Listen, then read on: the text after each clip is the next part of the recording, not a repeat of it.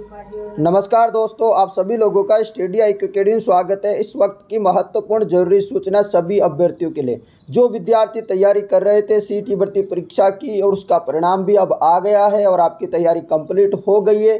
अब इंतज़ार है तो आपको इसका की भर्ती विज्ञप्तियाँ कब तक जारी होगी, और कौन कौन से पदों पर होगी, और किस आधार पर मेरिट बनाई जाएगी। क्या पंद्रह गुणा लिए जाएँगे, या चालीस परसेंट, या पचास परसेंट, या साठ परसेंट क्या होगा क्राइटेरिया? तो कार्मिक विभाग से इसकी भी आपको जानकारी बताएँगे कि हरिप्रसाद शर्मा जी क्या बताए हैं कट ऑफ़ के बारे में, वो भी जानकारी जानेंगे। और सी में जो भर्तियाँ होने वाली है, उनका नाम क्या क्या है और कितने पदों पे होगी? और सीनियर सेकेंडरी की भी दो भर्तियों हैं, जिनकी अभ्यर्थना कर्मचारी चयन बोर्ड पहुँच गई है, उन पदों पे भी भर्ती होने वाली है। तो चलिए जानते हैं अब पूरा मामला। ये रहा दोस्तों पंद्रह गुना चयन पर असमंजस, यानी कि जो पंद्रह गुना वाला मामला बताया था, उस पर अभी जो है असमंजस है। विद्यार्थी पेच में फंस गए इसके बीच में। कार्मिक विभाग से मांगा मार्गदर्शन, यानी कि कार्मिक जो विभाग है, उससे मार्गदर्शन मांगा गया है कि हम पंद्रह गुना जारी करें या चालीस परसेंट क्राइटेरिया रखें या पचास रखें, क्या रखें? इस बारे में। सी मेन पेपर का चयन फॉर्मूला तय नहीं, सात हज़ार पदों की ग्यारह भर्तियाँ अटकी। अब ये सात हज़ार जो भर्तियाँ हैं पदों पर, ये अटक चुकी है इसी मामले को लेकर। चलिए आगे जानकारी और देखते हैं। सीनियर लेवल में भी होगी यही परेशानी।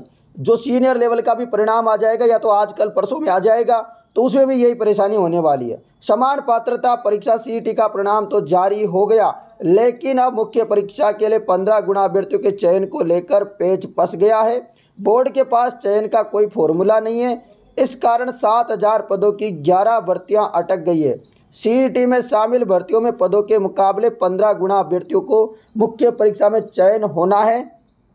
बोर्ड ने सी स्नातक के परिणाम में सभी, इस परीक्षा में शामिल सभी अभ्यर्थियों का स्कोर कार्ड भी जारी कर दिया है। आप सभी लोगों ने डाउनलोड भी किया होगा। लेकिन अब इनमें से पंद्रह गुना का चयन कैसे किया जाए, इसको लेकर असमंजस है। इसको लेकर असमंजस है। यही सी सी स्थिति रही तो सी टी जो सीनियर सेकेंडर का अभी परिणाम जारी होने वाला है, जिसमें बड़ी बड़ी भर्तियाँ हैं, जैसे एलडीसी हो गया, राजस्थान पुलिस कांस्टेबल हो गया, और भी तमाम भर्तियाँ। तो ये परिणाम भी जल्दी से जारी होने की संभावना है। इसी स्थिति से निपटने के लिए पंद्रह गुणा को लेकर कार्य विभाग से मार्गदर्शन मांगा गया है।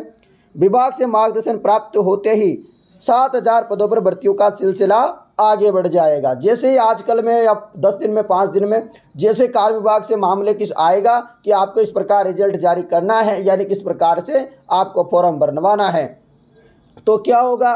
तुरंत ही उसके बाद, जैसे कि जैसे पंद्रह तारीख तक आ जाता है तो पंद्रह तारीख के तुरंत बाद ही सात हज़ार भर्तियों की जो है प्रक्रिया शुरू हो जाएगी, क्योंकि अभ्यर्थना वगैरह सब कुछ कर्मचारी चयन बोर्ड में पहुँच गई है।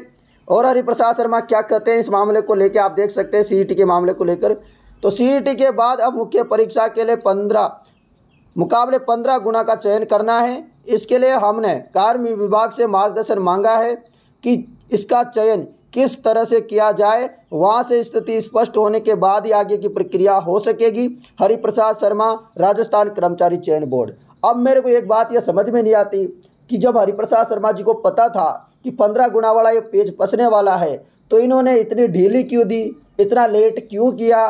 अब आपको पता है आचार संहिता लगने वाली है कुछ महीनों बाद ही। तो इनको पहले सोचना चाहिए था कि हम जो है कार्मिक विभाग से इस बारे में बात कर ले। परंतु ये सब चाहते हैं कि बेरोजगारों को ऊर्जा के रखें और इसी प्रकार से बेरोजगार नाचते रहे, कूदते रहे, भर्ती परीक्षाएँ देते रहे। सीट के नाम पे दोस्तों ये मामला चलता रहे आगे। तो आप देख सकते हैं किस प्रकार यहाँ पर मतलब बेरोजगारों को गुमराह किया जा रहा है कि हमने कार्य विभाग को भेजा है, उसको भेजा है, वो आएगा, फिर हम भर्तियाँ निकालेंगे, फिर उनका फॉर्म भरवाएँगे, फिर पेपर लेंगे और फिर ये सरकार चली जाएगी। फिर अगली सरकार आएगी, वो ज्वाइनिंग देगी देगी तो दे देगी, नहीं तो भर्ती को कैंसिल कर देगी। तो ये से चलता रहता है। आपको पता है, पिछली जो बीजेपी सरकार थी, उसकी ज्वाइनिंग अशोक गहलोत ने दी। अब अशोक गहलोत जो निकाल के जाएगा अब उसको वसुंधरा जो आएगी मान लो तो वो देगी या खुद आएगा तो खुद दे देगा। तो इस प्रकार लगातार ये चलता रहेगी। अब कौन कौन सी भर्तियाँ होनी है? सी स्नातक पे वो जान लेते हैं। कनिष्ठ लेखाकार के पाँच हज़ार एक सौ नब्बे पदों पे भर्ती होगी। तहसील राजस्व लेखाकार के एक सौ अट्ठानवे पदों पे। सुपरवाइज महिला अधिकारिता के एक सौ छिहत्तर पदों पे।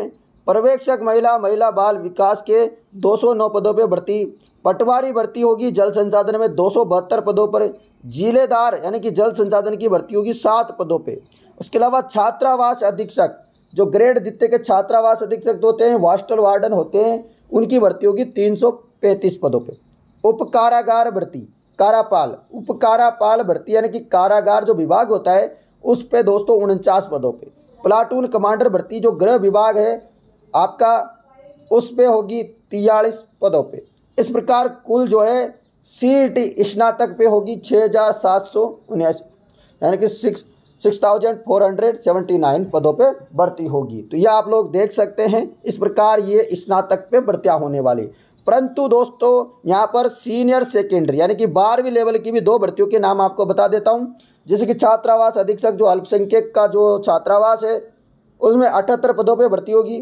कनिष्ठ अभियंता जो कृषि विपणन विभाग में है, कनिष्ठ अभियंता के भर्ती तो 400 पदों पर होगी उसके अलावा आप लोगों को बता दें हम कि ये तो सीनियर सेकेंडरी में इतनी दो ही भर्ती आपको अभी तक अभ्यर्थना पहुँची है, इसलिए दो ही बता रखी है। इसके अलावा आपको पता है एलडीसी बड़ी भर्ती होने वाली है, पुलिस कांस्टेबल बड़ी भर्ती होने वाली है और भी उसमें बहुत सारी ऐसी भर्तियाँ हैं जो बड़े लेवल पे होगी।